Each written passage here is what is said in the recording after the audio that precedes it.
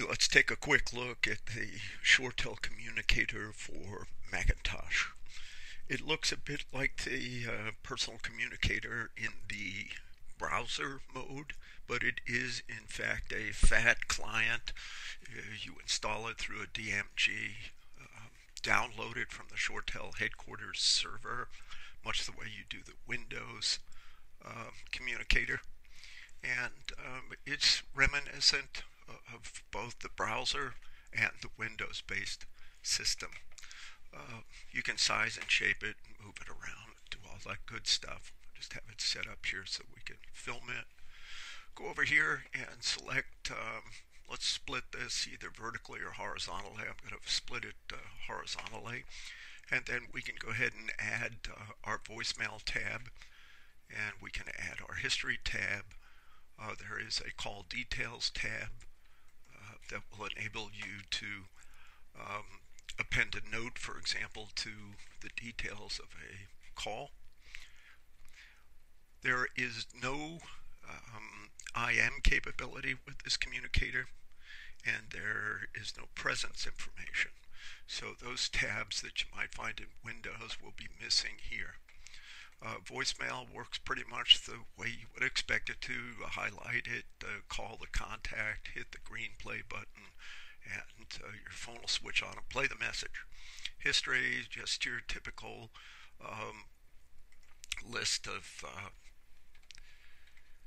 calls made in and out. Again, able to add a call note, save it.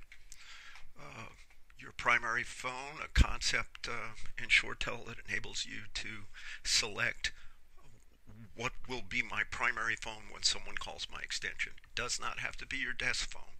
It can be your desk phone, but it, you could also set it to be your uh, cell phone, for example, so that an incoming call to your desk would ring your cell phone. You can configure additional phones. You'll see here uh, up to five different uh, possible phones. Uh, you have options here to uh, set uh, how you want uh, the system to respond when you get a phone call. Do I press 1 to answer? How many rings? Things like that. Uh, your incoming call routing is set up here uh, for each of your call handling modes. Your find me, follow me. Um, whether you're going to have a first and a second option you have your different call handling modes here, and this is where you would go to set up basically the form for in a meeting out of the office. It's, it's all the same, you're just associating it with a different uh, call handling mode. So you can record your greeting here for that call handling mode. Uh, you can determine whether calls are forwarded or not based on always or when there's no answer. Typically, this will be set to go to voicemail. Um, you can set up your personal operator. So each uh, call handling mode, by the way, can have a different greeting and a different personal operator. So when someone uh, gets in your mailbox, they dial zero. Uh, they can speak to another member of your team, not necessarily the receptionist, but perhaps someone else in your work group. Uh, you can associate this with uh, different uh, automated call handling modes based on Microsoft Outlook, for example.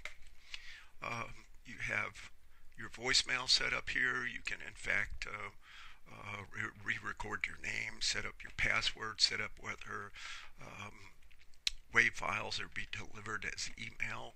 You have speed dial. Um, I always have dial a prayer. I love to send people to dial a prayer. Uh, telephony, whether we're going to suppress call waiting and whether I want dial tone hammering away in my ear when I've got a headset on and no active phone call. That's where you go to change all this stuff. Uh, customization for uh, how dates and times appear and background colors, things of that ilk. Um, it's uh, a very usable uh, interface. It uh, gets the job done. Like I say, it's missing. Um, IM capability and it does not provide presence information. Other than that, it works pretty much like uh, um, any other.